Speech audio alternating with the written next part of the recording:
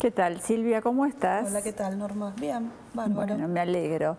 Veo que vamos a hacer hoy, nos vas a enseñar a hacer una lindísima muñeca romántica, ¿no? Sí, otra técnica eh, totalmente distinta a la que hicimos hace unos días. Sí, que era soft, la otra. Que era soft, sí.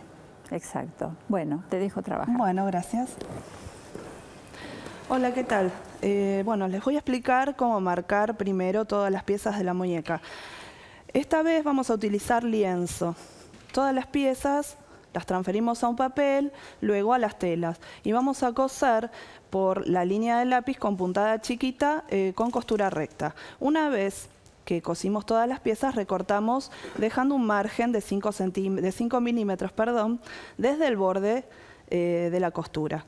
Una vez que hicimos esto, vamos a rellenar todas las piezas con vellón siliconado. Una vez que rellenamos lo que sería la cabecita, le vamos a colocar unas perlas y luego con pincel seco eh, vamos a realizar los cachetes. Una vez que tenemos todas las piezas del cuerpo, eh, las vamos a unir. Después que terminamos de rellenar todas las piezas, vamos a pasar a coser las piezas de la ropa. Primero los zapatos en tela polar, una vez que los cosemos los damos vuelta. Van a ir después colocados sobre las piernitas. Las medias, que son dos tubitos, los cuales vamos a darle la forma eh, de... vamos a doblarlos como si fuesen medias. Después tenemos el gorrito, también que utilizamos dos telas distintas, una para el exterior y otra para el interior del gorro.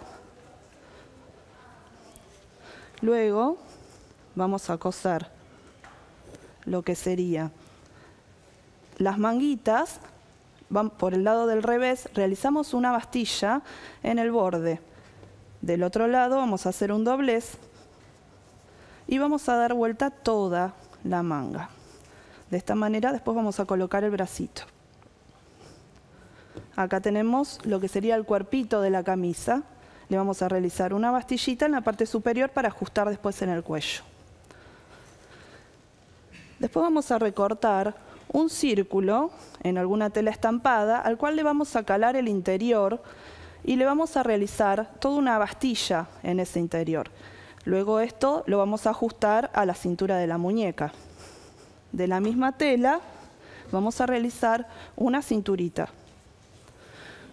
Después con lana, en algún color que combine con las telas que utilizamos para la muñeca, realizamos una peluquita, la cual atamos en el medio y vamos a hacerle algún peinado, alguna trencita, lo que quieramos eh, para adornar la cabecita. Bueno, una vez que tenemos realizadas todas las piezas, vamos a empezar a vestirla. Colocamos primero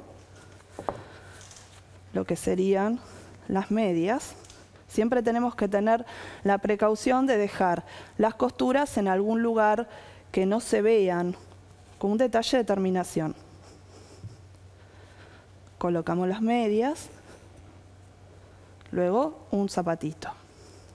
A los zapatitos, para adornarlos, le podemos colocar con pistolita de calor alguna pasamanería en el borde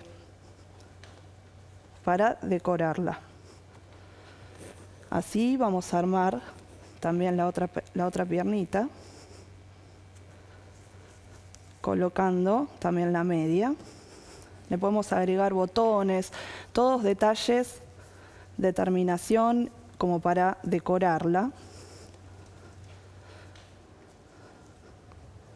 Bueno, una vez que terminamos toda la muñeca, todo lo que serían los zapatitos, vamos a colocar la pollera que vamos a ajustarla a la altura de la cintura.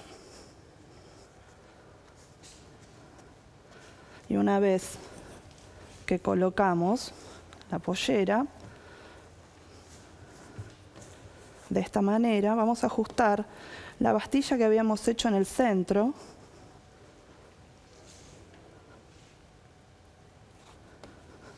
de esta forma. Una vez que ajustamos esto, con la ayuda de unos alfileres, primero vamos a colocar la cintura para que no se corra y después con la pistolita de calor la vamos a pegar. De esta manera vamos a poner la parte superior de la camisita. Una vez que colocamos la camisita empezamos a armar la cabeza. Vamos a colocar el pelo con ayuda de alfileres lo sostenemos, le podemos realizar alguna trenza